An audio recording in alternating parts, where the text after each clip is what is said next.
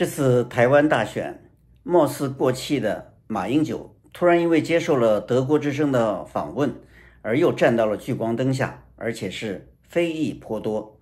我这个节目一般不会评说人物的当下，当下由将来去评说。我说过去，其实呢，过去实际上也连着当下。这次台湾大选马上就要正式投票了，政党轮替是很多选民的诉求。也可以理解，正像有人说的，质量再好的内裤，如果长时间不换洗的话，也会散发出难闻的味道。不过，马英九这位前总统早是已经被换下来的内裤了，味道很多人还记得。马英九是国民党的一个重要人物，曾经他光鲜无比，曾经他伤痕累累。说实话，在政治人物中，还很少像马英九这样过坐过山车的。也许我说的不对，不是过山车，因为过山车会时上时下，马英九更像是滑翔伞，登上了高处，一路下滑。我有不少台湾朋友对于马英九的评价，开始还是有不少人鼓掌叫好，甚至有不少女性成为他的忠实粉丝，以和他握手和拥抱为幸福。但是后来就很少听到对这位帅哥总统的赞扬了，听到的最多的是他的不满，对他的不满和怨气，甚至是恨意。就算是他的铁杆支持者，也往往是露出哀其不争的感觉。有朋友告诉我，退出政坛的马英九闲得很，没有人请他参加活动，甚至没有人请他去吃饭。这次他接受采访以后。按照我现在听到的说法，好像很多人甚至连他的请他去国民党的肇事现场去站台都很少有人请了。那么到底怎么看马英九？这是个冷饭了，但是我觉得冷饭也值得炒一炒。说实话，炒饭师傅主要是他自己。马英九七十三岁了，从外貌看很难把他跟。古稀两个字连在一起，因为他还是资深帅哥，当然不能话当年了。二零零八年他就任台湾总统时，还是风流倜傥的小马哥，在这个工作岗位上熬过了八年，熬出了一对深深下垂的眼袋，小马哥熬成了老马哥。可惜的是，老马没有识途。按说呢，马英九应该是一个有文化底蕴。果断敢为的人，他祖籍湖南，远祖是陕西扶风。陕西是中华文明的发祥地，而湖南人号称是南方人中的北方人，就是有北方人的豪爽和勇武。也有人说湖南人是骡子脾气，认死理。马英九有没有继承陕西的文化底蕴，不得而知，但是他显然没有湖南人那股劲头。马英九早年在美国读书，踏入政坛很早，而且顺风顺水。第一份差事就是给蒋经国当翻译，从此是一马平川，当了台北市长，两度当了国民党主席，两次当选总统。马英九长得帅，在美国留过学，在台湾的最高领袖身边工作过，有一个和睦的家庭，似乎所有的阳光都洒在他的身上。二零零八年，马英九率领国民党大胜民进党，他也坐上了总统的位子。二零一二年，他连选连任，赢得的票数虽然没有四年前那么多，但是也有八十多万票。那个时候，民进党似乎已经被打翻在地，爬不起来了。很难想到，仅仅四年以后，二零一六年，台湾岛的蓝天就变成了绿地。马英九要承担什么样的责任呢？每当要批评马英九的时候，我都有恻隐之心，因为他还是一个有信仰的人。他每天上午进入办公楼上班，第一件事是先向场厅的孙中山铜像行礼，并回想孙中山的一生志业。他说：“孙中山先生临终时所说‘和平奋斗救中国’，他一直记在心上。他也算得上是一个清廉的人，不结党，不贪腐，甚至得到了一个。”不粘锅的绰号，他没有丑闻，没有绯闻，勤勉工作。我这么一说，倒好像是描绘一个道德楷模了。当然，现在就道德楷模这一点来说，台湾也有不少人不赞同。他们能够找出马英九的种种不检点之处，但是因为没有准确的事实依托，我不采信。其次，作为一个政府领导人，第一要求的也不是做一个道德楷模，只不过很多人在细数对马英九的种种不满时，常常忘记了他也做过很多好事。马英九是有很多事情做错了，从他的性格和知识结构来看。距离一个合格的总统还有很大的距离，我不想再仔仔细细地揭开每一道伤疤来看一下，或者再撒上一把盐。我只想简要的做个梳理。首先呢，是他没有把党内整顿好，他是靠国民党的力量把他推上去的，但是过于清高的性格害了他。他表示说要当全民总统，不再代表一党一派。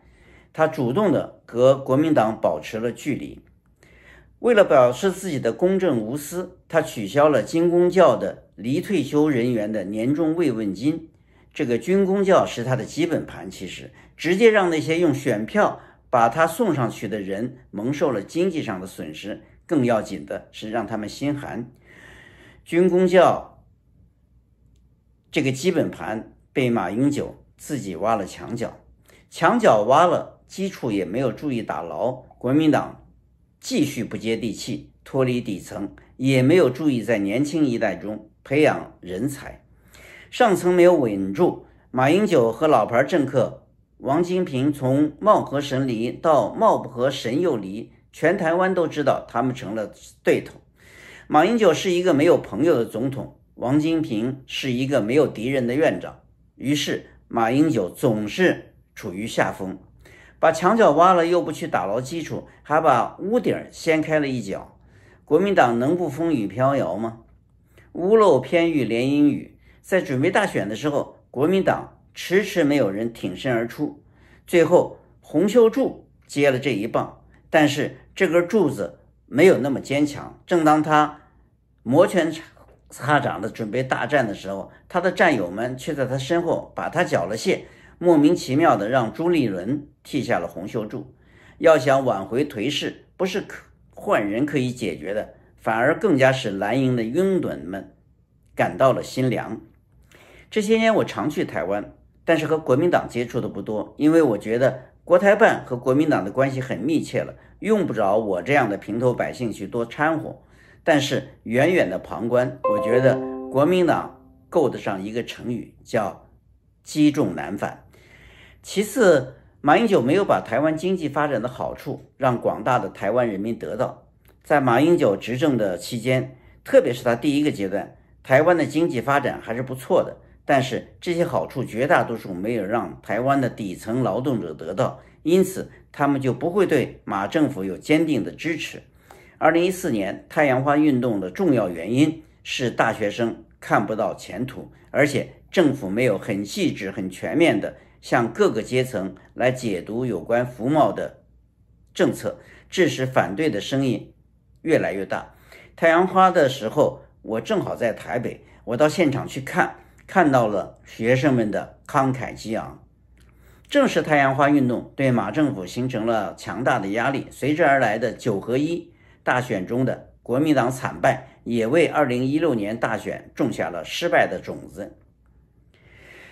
马英九第二个任期还连续发生了食品安全风波，直接冲击了普通百姓对日常生活的安全感。油电双涨和核四事件也同样重创马总统和国民党的威望，这些都是雪上加霜的事情。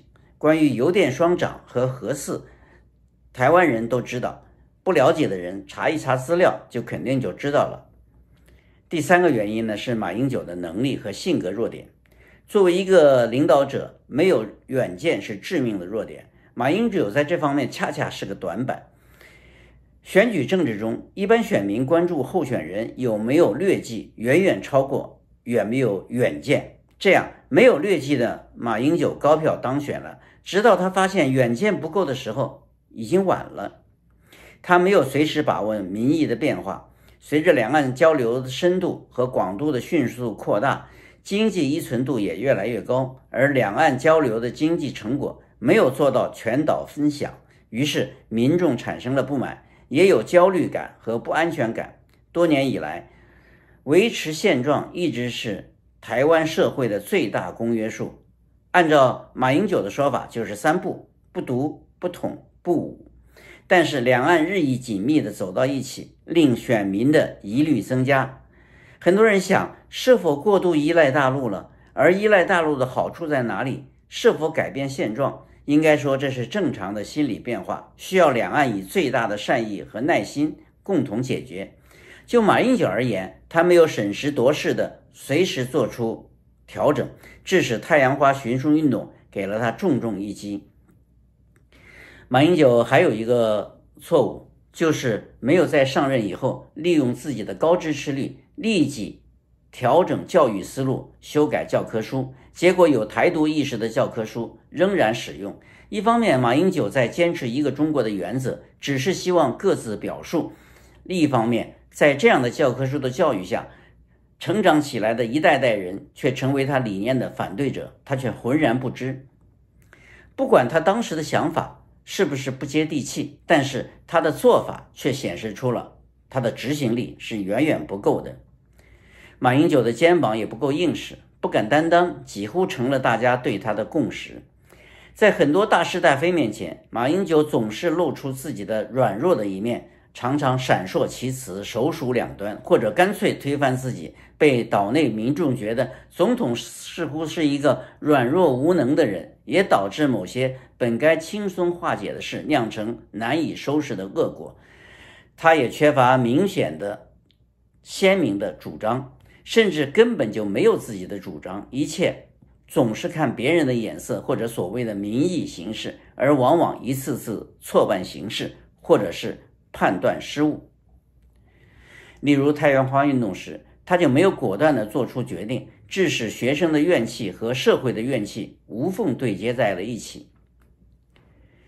我还听说了一个小故事：马英九曾经是保钓运动的积极参加者，作为领导抗日的政党的后代，在纪念抗日战争七十周年的时候，或者是他命令，起码是他批准，国民党军队的飞机上。喷上了二战时陈纳德率领的飞虎队的标志，引起了日本的抗议。按说不用做这样小儿科的事情，但是在庆祝抗战胜利七十周年的时候做，也就是做了。但是日本人一抗议，他就命令把这些喷绘都除去了。事情虽然小，却很典型。小马哥虽然长相俊朗，举举止文明，笑容可掬，但是接触起来就知道。他的情商是不高的。他的一位老同学告诉我，哪怕是同学聚会，当有人说我要给你提点建议，他也会马上掏出个小本来，认真的记录。认真他是认真了，情感却没有了。岛内民众都知道马英九是一个没有朋友的人，原因就在于他太想做一个没有敌人的人，所以他希望当全民总统，所以他追求一碗水端平。也许在理论上他是对的，但是在实际上这是做不到的。即便是在某些事情、某些时间段可以做到，也需要极高的智慧和足以取得支持的情商。遗憾的是，马英九两者都是缺少的。二零一六年台湾大选，两件小事足以说明马英九的情商。蔡英文获胜以后，马英九循惯例向蔡英文电话祝贺。第一句是祝贺，第二句马上说，请蔡主席研究多党阻隔的问题。蔡英文愣住了，他周围听电话的人也都面面相觑，因为这话此刻说是不合时宜的。国民党失败以后，行政院长毛治国立刻请辞，马英九这边想让蔡英文立刻阻阻隔，那边就挽留毛来留任。但是毛治国在匆匆的和行政院同僚拍完毕业照以后，就不再露面了，而且放出话来说要一直请假到辞职被批准。这是院长给总统撂挑子了。马英九不得已雇茅庐，登门去慰留，结果在毛宅吃了闭门羹，等了五分钟没有见到人，扫兴而归。这件事被台湾媒体渲染成为马英九没有人缘的一个范例。但是我还是想说说马英九的好。其实马英九没有给国民党抹黑，因为他的正人君子形象是很多人修炼不出来的。就说前面他的缺点错误，很多时候动机还是好的，比如说想在总统任上尽量减少自己的党派色彩，例如想最大限度地听取民众和同僚的意见，也有很多时候是因为掣肘太多，有的来自反对党，有的来自同僚。即使是这样，也不是简单的四个字“乏善可陈”。可以概括他的从政生涯的。马英九当台北市长的时候，还是有不少政绩工程的，不然他也不可能高票当选总统。在他的任内，台北捷运六条路线完工通车，每日载客量成长六点三倍。道路方面，完成接连福高三甲和市区的信义快速高道路，以及复兴北路车行地下道。为台湾的运营中机场跑道地下进行施工的首例。此外，还有环东大道的通车、南京东路正气桥的改建，以及在万华车站铁路地下化以后和华翠大桥，并整建基隆河百灵桥、承德桥等六座桥梁，桥梁进行照明美化与景观改善工程等等。担任总统以后，他的主要功绩表现在两岸关系上，这也是他最近还在引以为豪的地方。其实功劳不是那么个算法，因为国际形势和两岸形势都是有了变化的。实现两岸三通，方便了人民的来往，扩大两岸经济交流，增进了两岸经贸交流，保持了两岸间的基本和平。可以这样说，马英九执政期间是两岸之间关系最和谐的时期。大陆方面也表现出了最大的善意，每年双方有近一千万人次的往来，双方贸易更高达一千三百亿美元，超过当时美国和日本对台贸易的总和，顺差高达四百多亿美元，经济上也不是一团糟。虽然马英九一上台就遭遇了全球金融危机，未能够实现竞选的承诺，但是台湾仍然维持着发展水平，没有倒退。不仅如此，马英九执政期间，犯罪率下降了百分之四十，对台湾免签国家也大幅增加。总体而言，国民党再度执政以后，表现还是过得去的。尤其值得说的是，在马英九的努力和大陆的谅解之下。在马英九就要离开总统府的时候，最终达成了两岸领导人的洗马会。二零一五年十一月七日下午三点，习近平、马英九在新加坡举行洗马会，他们同时步入会见大厅，在数百名中外媒体记者的瞩目之下，在响成一片的快门声中，两岸领导人的手紧紧地握在一起，共同翻开两岸关系历史性的一页。这一刻也将载入两岸的关系史册。